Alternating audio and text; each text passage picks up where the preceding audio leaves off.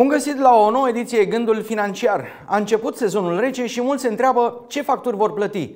Avem cadrul legislativ pentru ca majorările să poată fi suportate cu sprijin de la stat. Dar oare asta să fie soluția? Să tratăm efectul și nu cauza? Gazul a devenit o monedă forte și nu doar în această iarnă, ci și pentru viitorul apropiat, pentru că este văzut ca o soluție intermediară pentru trecerea la energia verde.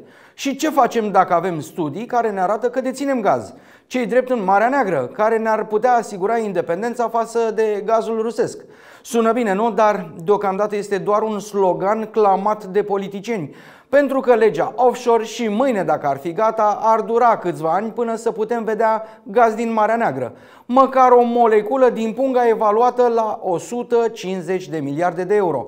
Despre acest subiect care ne arde buzunarul și ne alimentează temerea. Discutăm astăzi împreună cu Dumitru Chisăliță, președintele Asociației Energia Inteligentă. Bună ziua și mulțumesc de participare! Bună ziua, mulțumesc și eu pentru invitație. Întâi de toate, haideți să vedem, este o situație atât de dramatică pe cât ni se prezintă sau mai avem totuși o cale de scăpare? Mă, în primul și în primul rând trebuie să abordăm lucrurile în mod dramatic pentru că ar fi cea mai uh, proastă cale pe care uh, am putea să o luăm. În același timp, trebuie să ne uităm uh, realist la ce se întâmplă în momentul de față, atât în România cât și în afara României și să înțelegem unde ne plasăm din această, în această conjunctură. Uh, câteva adevăruri care se rostesc mai puțin. În primul și în primul rând, România are niște resurse importante și în zona onshore și în zona offshore, pentru că în general lumea se duce doar în zona offshore, dar trebuie să precizez că există resurse importante și în zona onshore care trebuie să fie de asemenea abordate, trebuie să fie explorate și exploatate, la fel ca și cele din zona offshore. Al doilea, al doilea element important este legat de faptul că construcția unei idei de independență energetică este o idee păguboasă. Este o idee care a, fost, care a apărut în America, de fapt, în anii 70, care a determinat, de fapt, crizele energetice mondiale și la care până și americanii au renunțat, trecând în zona de securitate energetică. Securitatea energetică este o construcție care se bazează deopotrivă pe resurse interne și resursele externe accesibile și posibil de preluat din afara țării, din afara României.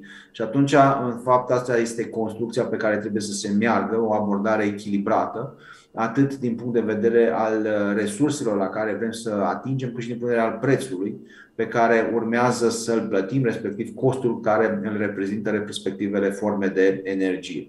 Deci, uh, primul lucru care va trebui să-l învățăm este să nu ne mai dorim atât de mult independent, să fim independenți energetici, cât să ne dorim să avem o țară care să fie asigurată din punct de vedere a securității energetice, atât pe timp de vară cât și pe timp de iarnă, atât uh, anul acesta cât și peste 10, 15, 20, 30 de ani de acum încolo.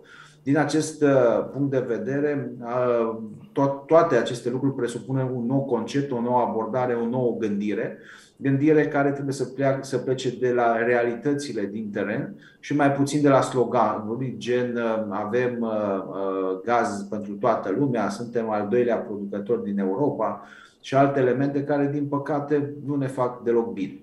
Deocamdată avem cifre, cifre care sunt scrise pe o hârtie discutăm despre ele, le estimăm, dar uh, vorbim totuși de, de un consum de aproximativ 20 de miliarde de metri cubi uh, pe an, în condițiile în care tot ceea ce se află în Marea Neagră, despre care tot am discutat și acum, ne-ar ajunge pentru următorii 20 de ani. În momentul de față, consumul României se învârte în jurul la 12 miliarde de metri cubi uh, pe an. Din acest punct de vedere, bineînțeles, acea resursă la care ați făcut dumneavoastră referire din Marea Neagră ar însemna, de fapt, mai mult de, de 20 de ani. Este doar o precizare din punct de vedere al cifrelor.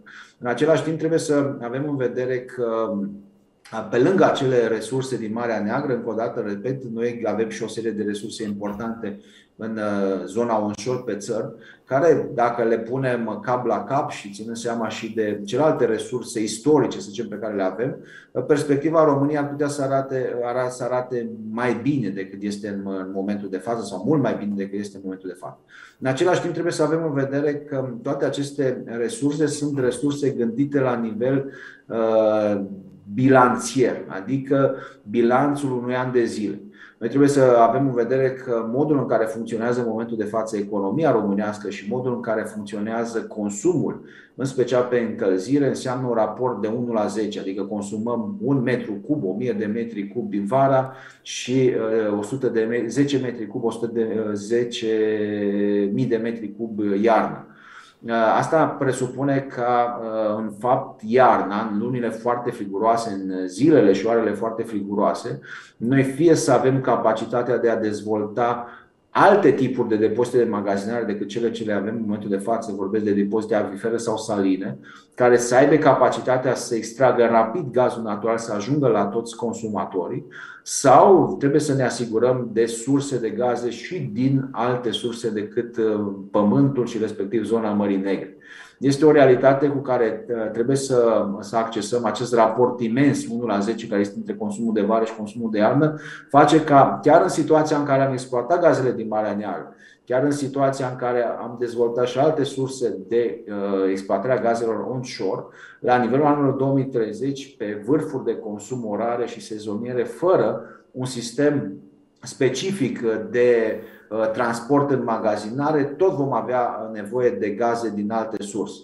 În același timp, trebuie să avem în vedere că aceste gaze, chiar dacă la momentul de față înseamnă niște cantități uh, mari față de ceea ce înseamnă consumul, sunt resurse epuizabile. Fiind resurse epuizabile, la un moment dat uh, vor dispărea și ca atare este bine să ne găsim cu o abordare echilibrată în uh, sensul în care gazele trebuie să ne ajungă atâta timp cât avem nevoie de ele. Și asta înseamnă chiar post-2050, pentru că gazele naturale nu au rolul doar de combustibil, de fapt cel mai important rol din punct de vedere economic este acela de materie primă, iar de uh, chimizare, de pesticide, de alte substanțe vom avea nevoie și după anul 2050, astfel încât uh, este greșit să ne propunem ca toate resursele de gaz să le epuizăm până anul 2050.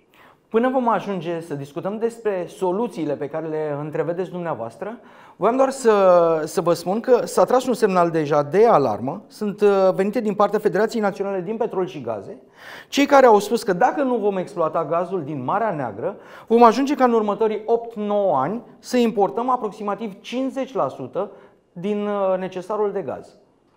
Da, ce, ce mă bucur e că cei de la Federația Petrol și Gaze mă citează. De fapt, este un studiu ce l-am întocmit încă de anul trecut și care întrăgeam într-adevăr atenția că în 10 ani de zile, la nivelul unui consum de 20 de miliarde de metri cubi, necesarul de import ar putea să depășească 50%, iar în următorii 50, 30 de ani, necesarul de import în lipsa acestor gaze ar putea să fie aproape 100%, mă rog, 94% ar fi efectiv pe cifre concrete. Dar este un element foarte, foarte important. Deja în acesta am văzut o creștere importantă a importurilor de gaze naturale. Toate aceste importuri pe an, pe urmă, în următorii ani vor fi din ce în ce mai accentuate, ținând seama și de faptul că uh, consumul de gaze naturale în România este în creștere, în timp ce uh, producția de gaze naturale din zăcămintele onshore este în, uh, în scădere astfel încât, uh, începând cu anul acesta și anul următor, trebuie să ne așteptăm la o prezență tot mai mare a gazelor din import necesare economiei românești. Ce se întrevede în aceste condiții? Apăsăm pedala de a ne deplasa către energia verde sau dacă nu, apă, nu apăsăm această pedală, ce se va întâmpla? Ma, trebuie să fim realiști. Trecerea către energia verde nu înseamnă doar că vom construi 10 uh, uh, parcuri eoliene și, nu știu, 50 de parcuri uh, fotovoltaice.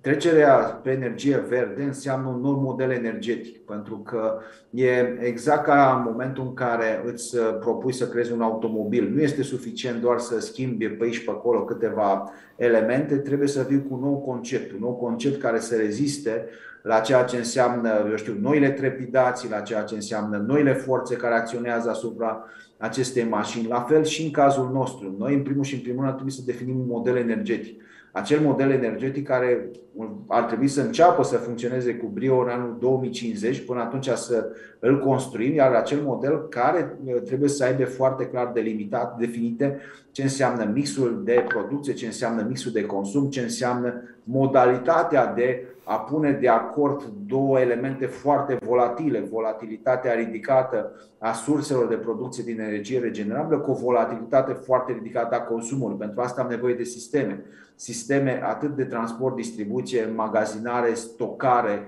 Um, substituire la, la anumite momente a unei forme de energie cu alte formă de energie și peste toate aceste elemente de natură tehnică care reprezintă modelul energetic avem nevoie de aspecte legate de uh, fezabilitate, aspecte legate de acceptanță socială, aspecte legate de uh, înscrierea în tendințele și trendurilor de schimbări climatice și de protecția mediului, de taxonomie, așa cum este ea definită în, în momentul de față la nivelul Uniunii Europene. Cred că prioritatea zero pe care ar trebui să o avem în momentul de față este să definim cum ar trebui să arate acest model energetic al anului 2050 și după aceea să ne preocupe uh, modul în care vom atinge acel model energetic, câte stații vom pune, uh, câte uh, turbine eoliene vom construi și așa mai departe. Haideți să vorbim de noua lege care protejează consumatorul și vorbim și de curent electric și de consumatorul de gaz. Cum vi se pare în forma care a trecut de Parlament și a fost promulgată de președintele Iohannis? Ba, legea care a fost uh, făcută, în primul rând trebuie să acceptăm că a fost făcută pe repede înainte și uh, multe elemente nu au fost suficient de mult uh, analizate, judecate, uh, cu atât mai puțin studiate și respectiv uh, create niște analize de impact, impact uh, social, impact economic, impact asupra bugetului uh, României, atât pe termen scurt cât și pe termen lung. Ce putem vedea în momentul de față și nu o să comentez neapărat legea, am făcut-o în mai multe situații și pe site-ul asociației sunt uh, nenumărate luări de poziții pe care le-am avut în ultima perioadă. În schimb, uh, aș dori să fac o trecere în revistă. Ce vedem în momentul de față? Păi, în momentul de față vedem următorul lucru. Vedem că uh, furnizorii care vin cu oferte noi sau, mă rog, cei care sunt în situația de a își modifica ofertele odată cu, cu atingerea apogeul, atingerea datei de scadență a contractului, își creionează prețurile uh, de la limita stabilită în lege, ca fiind limita plafonată, în sus. Adică la gaze naturale, în momentul de față, nu mai este nicio ofertă în piață care să fie sub 370 de lei, deși în urmă cu două săptămâni, trei săptămâni, patru săptămâni, încă găseam oferte uh, chiar și sub 300 de lei, nu peste 370. Deci primul element care l-a creat această lege a fost uh, cumva orientarea tuturor ofertele în jurul acestei uh, date de referință prezentate în lege, 370 de lei uh, pentru gaze naturale, un leu pentru energie electrică, vorbesc de 370 um, de lei pe megavator și un leu pe megavator. Deci asta e prima, asta e prima concluzie pe care, pe care o vedem. A doua uh, concluzie pe care o vedem, vedem că deși legea este în vigoare de 15 zile, ea de fapt nu se poate aplica. De ce nu se poate aplica? Pentru că în lege spune foarte clar că sunt nevoie, e nevoie de o normă de aplicare a legii, normă care nu a apărut.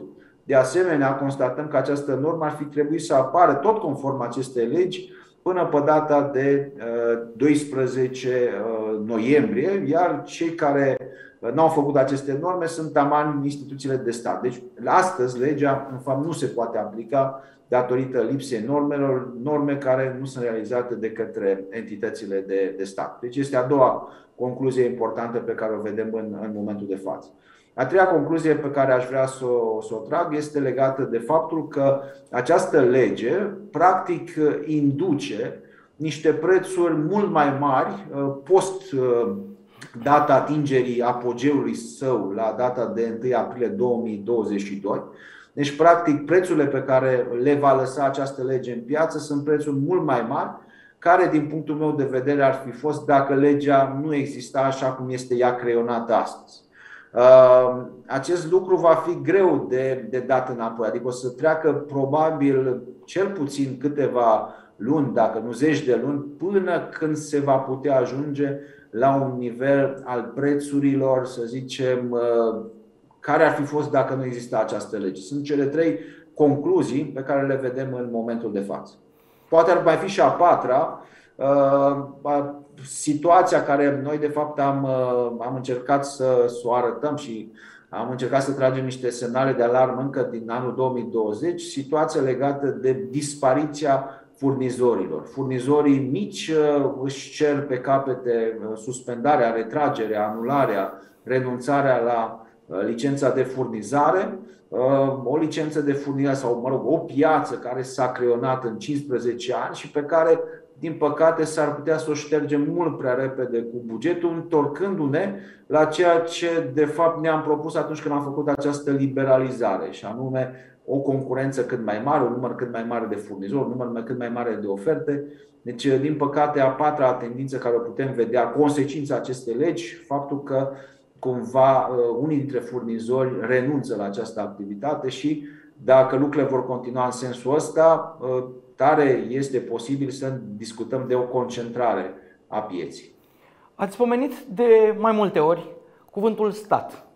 Statul care ar trebui să schimbe sistemul pentru anii ce vin, statul care în aceste condiții nu își face pe deplin datoria și nu, nu creează acel cadru de care avem cu toții nevoie, mai ales că vine iarna și vor scădea cât de curând temperaturile și vom avea nevoie de încălzire. Cum vedeți această schemă complexă în care statul este peste tot. Care ar fi măsurile, care ar fi principalele direcții în care ar trebui să intervină cât se poate de repede? Acum, mă rog, este peste tot și nicăieri, ca să completez un, un uh, să folosesc un citat celebru. Uh, da, statul este, își regăsește activitatea în calitate de acționar al unor companii producătoare, al unor companii de transport, distribuție, în cadrul unor companii de furnizare. Deci uh, există peste tot. Din punctul meu de vedere, nu este o problemă că există acest stat în, uh, în, prin prisma capitalului și a companiilor care activează în zona de energie electrică. Problema apare atunci când uh, se produce o, o apare un dualism, adică oameni care sunt în același timp în ministere și în, în instituții care ar trebui să facă politici, politici publice care să fie echilibrate, uh, au și în același timp și o funcție în astfel de societăți comerciale. Și atunci apare o situație paradoxală în care eu ar trebui să mă gândesc, să zicem, la uh, binele uh, consumatorului, dar în același timp sunt în tabăra cealaltă în care vreau să fac bani de unde? Păi tocmai exploatând consumatorul. Adică știm cu toții că nu putem să fim în același timp uh, și unii care vrem să, să zicem, să ajutăm consumatorul și în același timp să fim și unii care vom, vrem, vrem să exploatăm consumatorul în sensul de a face cât mai mulți bani de pe spatele și de pe umerii consumatorului. În păcate, sunt foarte multe situații de genul ăsta în care uh, apare această dualitate, dualitate care nu face deloc bine pentru că fie uh, fiecare uh, om în postura asta o să tragă pentru, pentru interesul propriu, interesul propriu o să și regăsească din bonificațiile care le iau, în special din zona companiilor, adică cu cât profitul e mai, mai mare, cu atât câștigă mai mulți bani și atunci uită de politicile publice sau fac politici publice care nu sunt într-adevăr în concordanță cu necesitățile românilor iar pe de altă parte trebuie să avem în vedere că uh, în ultimii 10 ani de zile uh, de profesionalizarea instituțiilor de stat a fost una uh, ridicată la un rang nemai văzut, cel puțin în ultima sută de ani în România și care, din păcate, se vede, pentru că chiar dacă, în general, industria energetică este o industrie care se spune că funcționează de la sine, Uh, nu este chiar așa. Ea poate să funcționeze de la sine o perioadă determinată de timp.